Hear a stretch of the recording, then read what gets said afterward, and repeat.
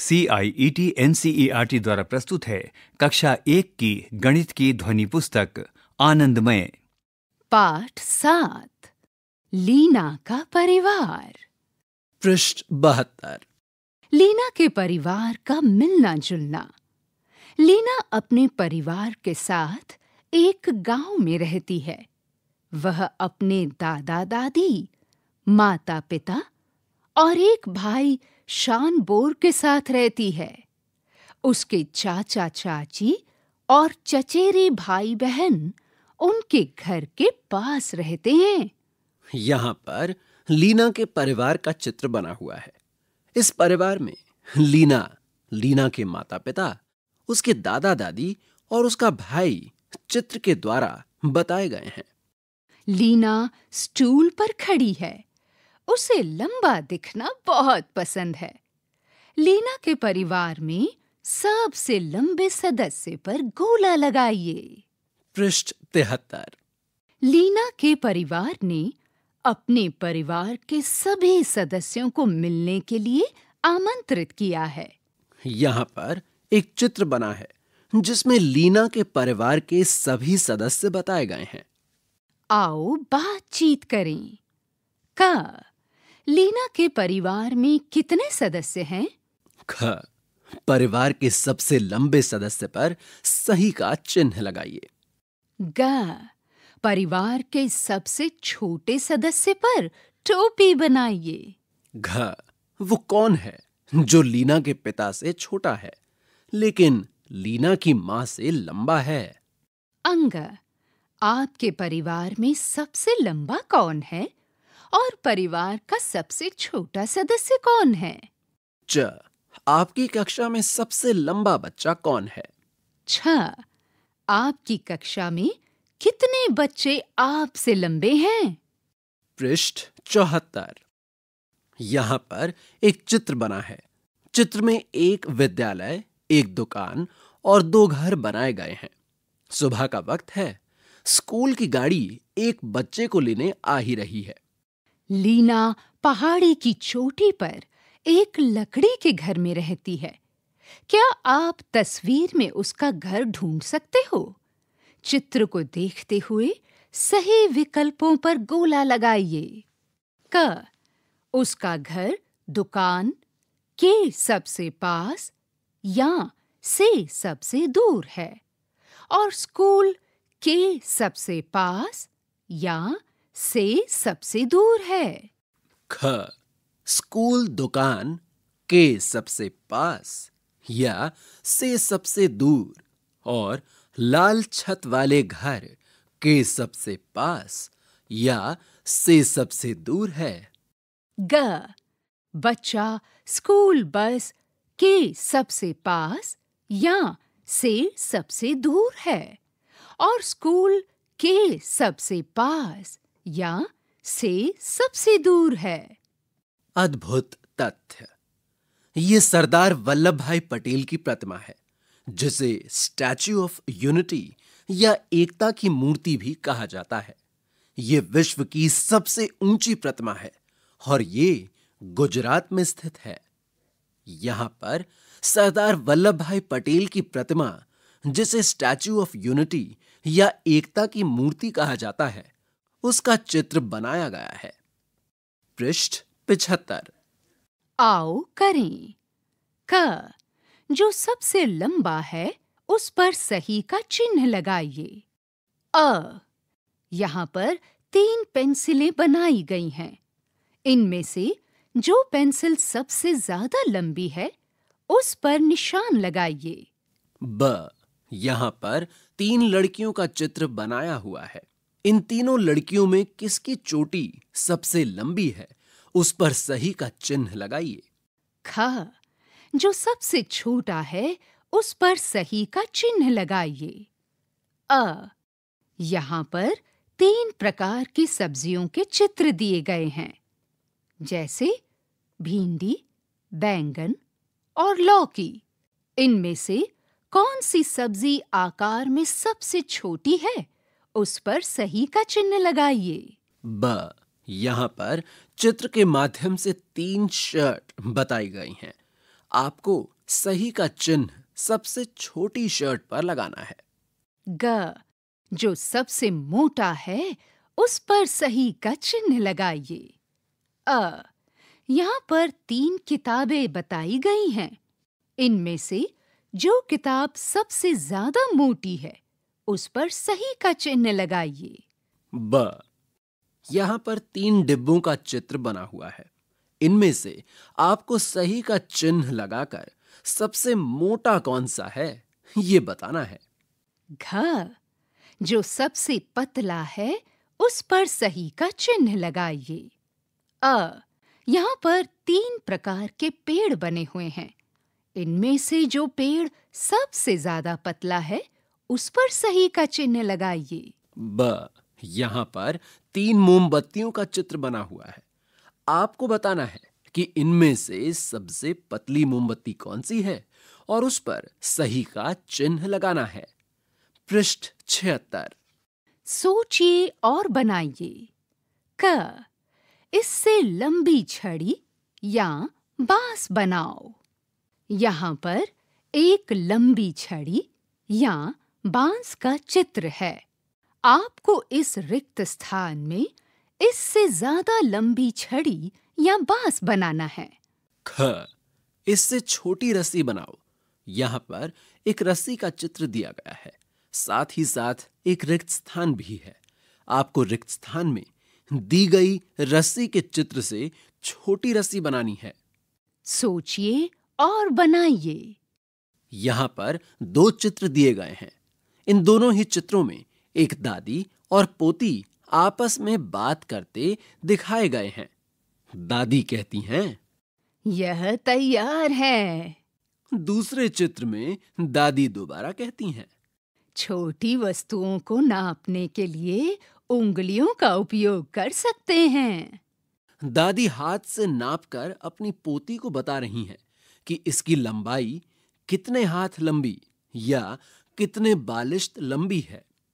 ग चित्रा अपने हाथ या बालिश्त का उपयोग करके कॉपी पेंसिल छड़ी मेज की लंबाई का भी पता लगाना चाहती है। यहाँ पर चार चित्र दिए गए हैं। ये चित्र हैं कॉपी पेंसिल छड़ी और मेज के। पृष्ठ सतहत्तर। सोचो और लिखो। क मेरी मेज रिक्त स्थान हाथ बालिश्त लंबी है।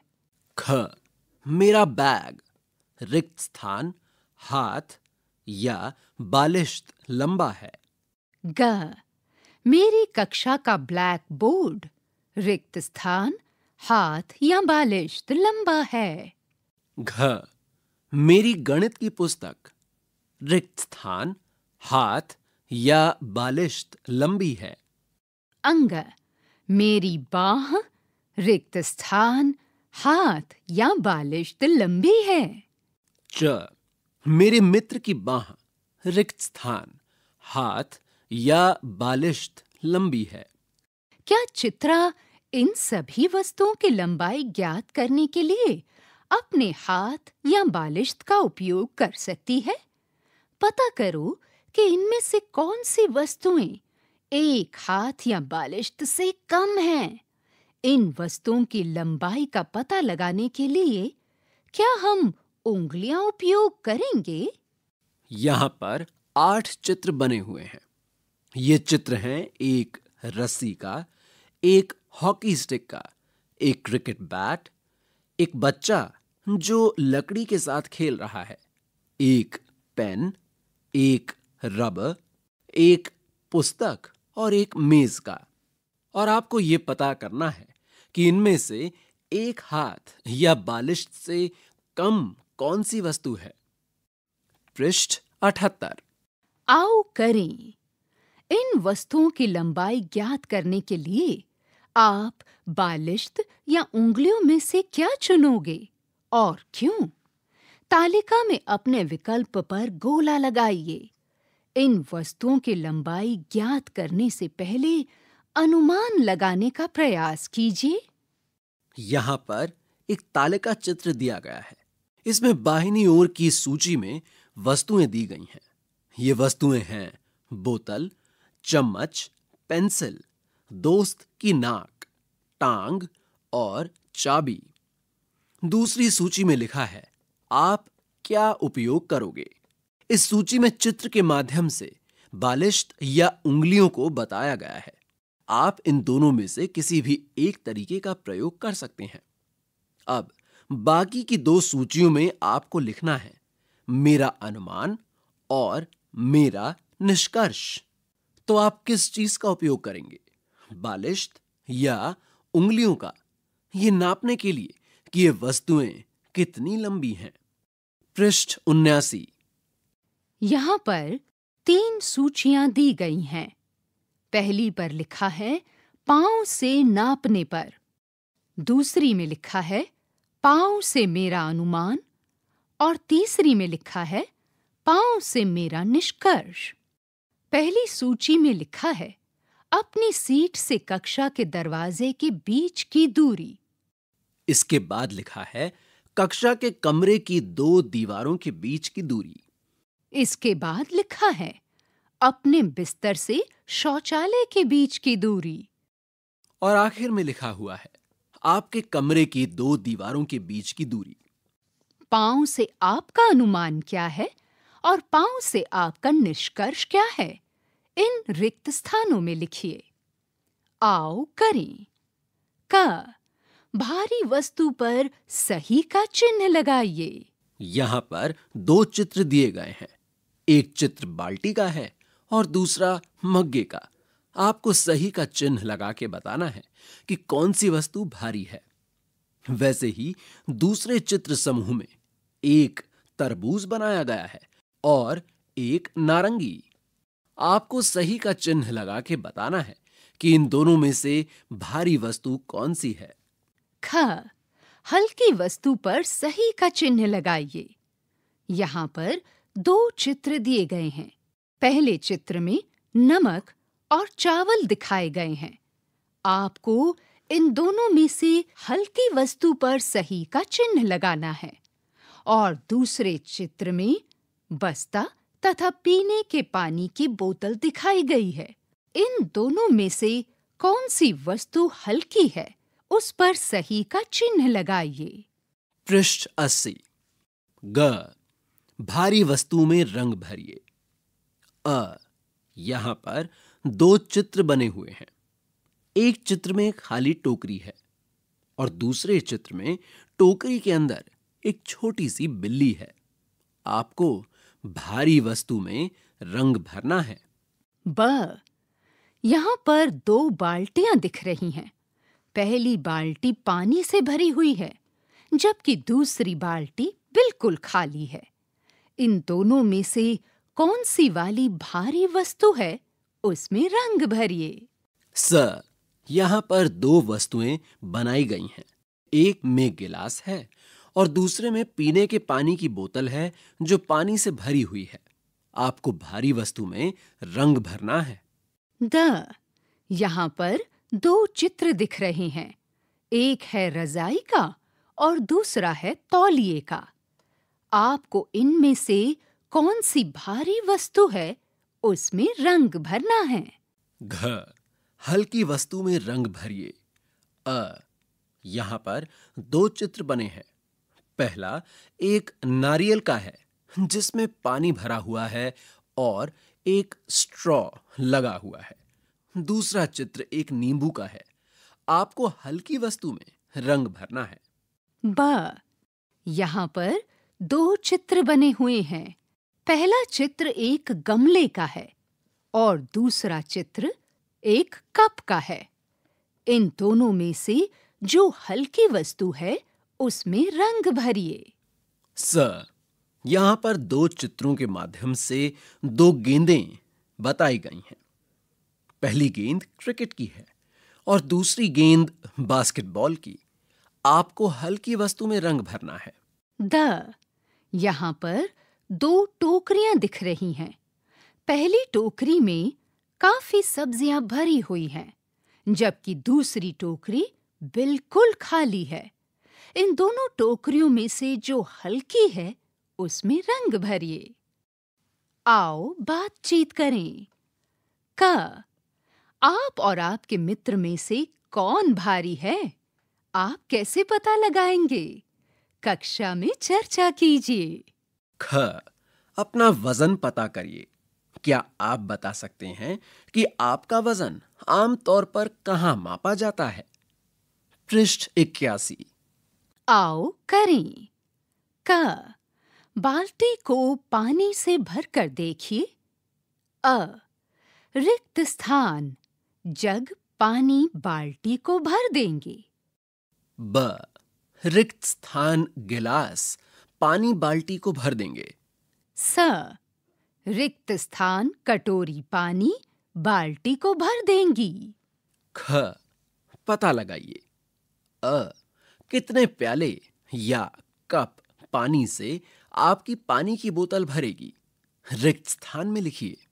ब अब अपने मित्र की पानी की बोतल को उसी प्याले से भरिए। कितने प्याले पानी से बोतल भरेगी? रिक्त स्थान में लिखिए। स किस बोतल में अधिक पानी आता है? रिक्त स्थान को भरिए। द इसे दूसरी बोतल के साथ भी कीजिए। किस बोतल में कम पानी आता है? रिक्त स्थान में लिखिए। ग जिसमें अधिक पानी आता है उस पर गोला लगाइए। यहाँ पर पाँच अलग अलग चित्रों में चीज़ों के समूह दिए गए हैं। पहले चित्र में है एक बाल्टी और एक मग। दूसरे चित्र में है एक चाय का कप और एक बड़ा गिलास।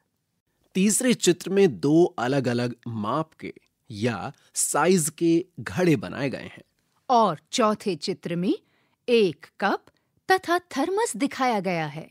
पाँचवें चित्र में एक पीने के पानी की बोतल बनाई गई है जिसमें पानी भरा हुआ है और उसके साथ है एक चाय की केतली। आपको ये बताना है कि किसमें अधिक पानी आता है और उस पर गोला लगाना है। पृष्ठ बयासी। पानी हमारे लिए बहुत उपयोगी है। चर्चा कीजिए। दिए गए कामों के लिए आपको पानी की कितनी मात्रा की आवश्यकता होगी, उस पर सही का चिन्ह लगाइए। क इस पहले चित्र में दिखाया गया है एक बच्चा जो कि मंजन या ब्रश कर रहा है। उसे पानी से भरी बाल्टी की आवश्यकता होगी या फिर पानी से भरा मग ही काफ़ी है। इन दोनों में से जितने पानी की आवश्यकता होगी, उस पर सही का चिन्ह लगाइए। ख, इसमें एक चित्र बना हुआ है, जिसमें एक बच्चा नहा रहा है। लिखा है नहाने के लिए इसके समक्ष दो चित्र बने हुए हैं।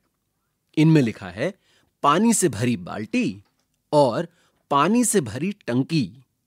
आपको चिन्ह लगाना है कि बच्चे को नहाने के लिए पानी से भरी बाल्टी की आवश्यकता होगी या पानी से भरी टंकी की। ग। इस चित्र में दो गिलास नींबू पानी बनाने के लिए वस्तुएँ दी गई हैं। और समक्ष दो चित्र हैं। पहला है पानी से भरे जग का और दूसरा चित्र है पानी से भरी बाल्टी का। आपको ये ढूंढना है कि दो गिलास नींबू पानी बनाने के लिए पानी से भरा जग ही काफ़ी रहेगा या फिर पानी से भरी बाल्टी की आवश्यकता होगी। सही विकल्प पर सही का चिन्ह लगाइए। घ इसमें चित्र के माध्यम से बताया गया है कि एक पौधे को पानी दिया जा रहा है। एक पौधे को पानी देने के लिए कितने पानी की आवश्यकता होगी? इसके समक्ष दो चित्र बने हैं। पानी से भरा मग और पानी से भरी बाल्टी। सही का चिन्ह लगाकर बताइए कि एक पौधे को पानी देने के लिए कितने पानी की आवश्यकता होगी। पृष्ठ तिरासी। परियोजना कार्य। क। चर्चा कीजिए कि नहाने के लिए फव्वारे या बहते हुए नल के पानी की जगह बाल्टी में पानी लेकर नहाना क्यों आवश्यक है? ख। रंगीन पट्टियों को फाड़िए और चिपकाइए, जिससे पट्टी का एक हिस्सा छोटा और दूसरा हिस्सा लंबा हो जाए। पट्टियाँ अलग अलग आकार की होंगी। यहाँ पर दो रिक्त स्थान हैं। छोटी और लंबी पट्टी के लिए। यहाँ पर लिखा है, ये छोटी हैं और दूसरे स्थान पर लिखा है, ये लंबी हैं। छोटी वाले स्थान पर छोटी पट्टी लगाइए और लंबी वाले स्थान पर लंबी पट्टी। ग, उन वस्तुओं की सूची बनाइए जिन्हें उठाना आसान है और जिन्हें उठाना कठिन है। यहाँ पर दो सूचियाँ दी गई हैं। पहली में लिखा है, उठाना आसान है। और दूसरी सूची में लिखा है, उठाना कठिन है। जिन वस्तुओं को आप आसानी से उठा सकते हैं, उन्हें बाईं ओर की सूची में लिखते जाइए, तथा जिन्हें उठाना कठिन है, उन्हें दाईं ओर की सूची में लिखिए।